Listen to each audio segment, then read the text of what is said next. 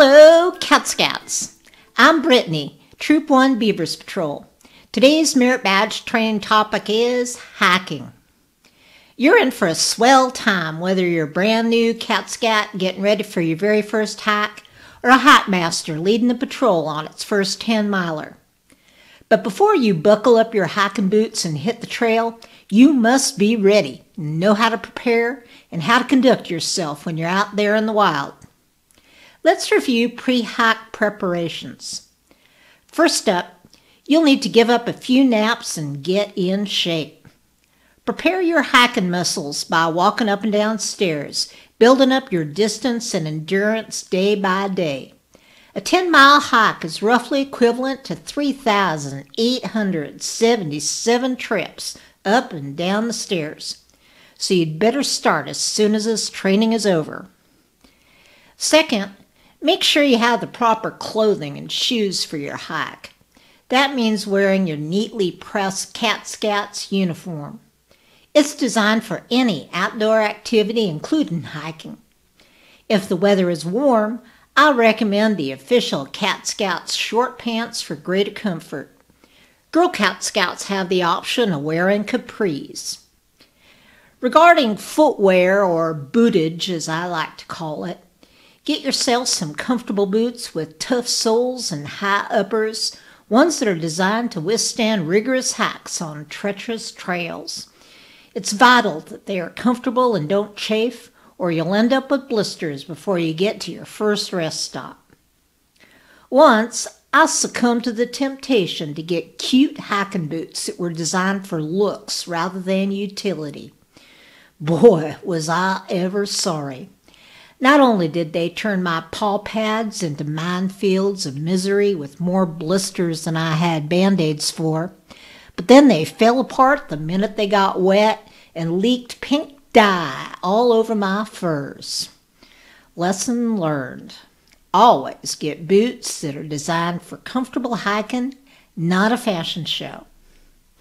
After you've selected comfortable boots, Make sure you take the time to break in those boots before your first hike. For this, always run them through the dryer for an hour or two on low heat with at least five pounds of rocks. When the thumping sounds become more muted, you'll know they're ready for hiking. Next, you'll need to pack your knapsack. The essentials include an umbrella because you don't want to get wet if it rains, a white hanky to tie to your tail for visibility when hiking near roadways. Cat traits, of course. Water in your official Cat Scouts canteen. Sunglasses. A headlamp because sunglasses make it look pretty dark.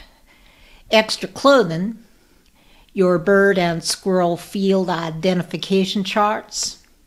Portable emergency cat cup solar battery powered since there are usually no outlets on hiking trails, vicious deer repellent, a space blanket and astronaut ice cream in case you are forced to hunker down overnight, cat litter.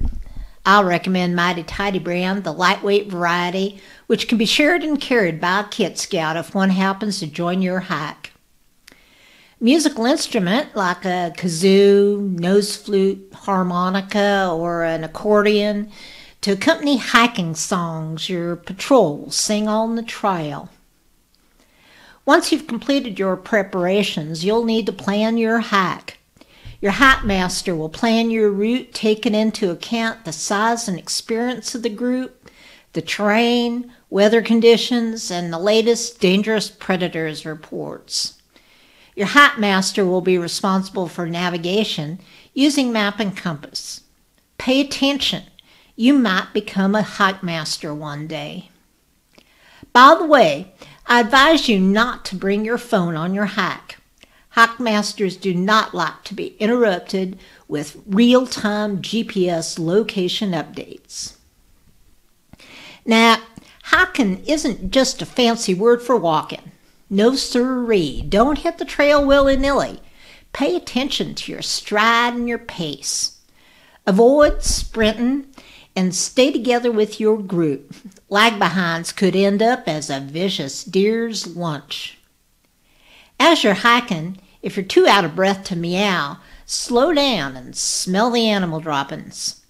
Take short, frequent rest breaks. A long cat nap will get you left behind, leaving you in danger of being eaten by wild animals. One fun aspect of hiking is learning how to follow trail signs left by hikers that went before you. They can convey vital information, so learn them well and watch for them. Here are a few examples.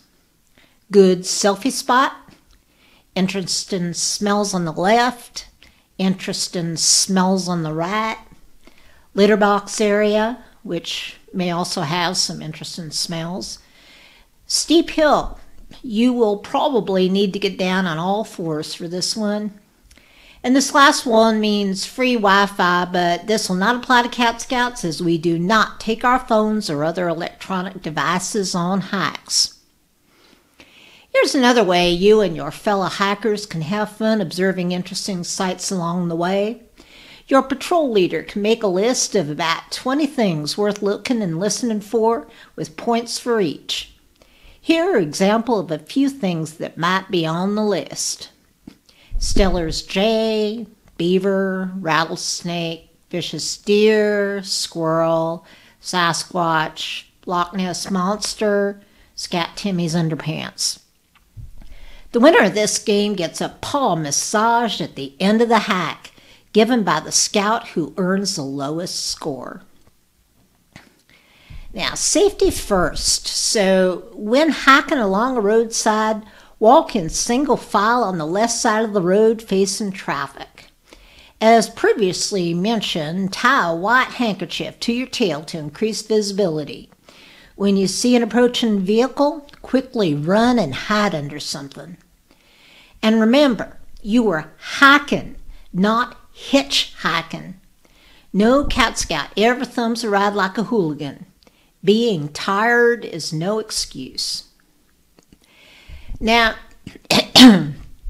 this uh, isn't a pleasant topic. In fact, it's so unpleasant. I hesitate to bring it up, but I would be remiss if I didn't caution you about the most dangerous threat to any cat scout enjoying time in the great out of doors. Yes, I'm talking about the threat posed by vicious deer. Many new cat scouts are hesitant to explore the outdoors because of wild stories they've heard about giant, vicious deer skewering tender, young, juicy cats on their ginormous antlers and feasting on cat kebabs over the campfire. Well, I'm here to tell you those stories, they're all true. So, Always carry a can of vicious deer repellent in your knapsack, or even better, strap to your belt so you can have it ready whenever you encounter these monsters. You can pick up a can at the Cat Scout store, just go to catscoutstore.com. Without warning, we've come to the end of your hike and merit badge training. This is Cat Scout Brittany, Troop 1 Beavers Patrol, reminding you to be prepared and breaking those boots before wearing them.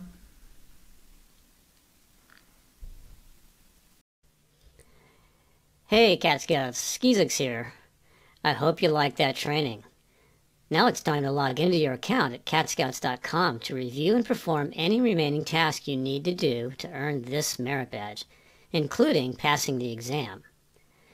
Or did you just watch this video for fun or something? Maybe you're not even a member then you might want to go over to catscouts.com and join because it's really fun and you can make friends and go camping and tie knots and stuff. See you over there. What's the deal with Timmy's underpants anyway? I really love those pink hiking boots. You think we could show a picture here of me in my capris? Panties in a twist. I'll get to it.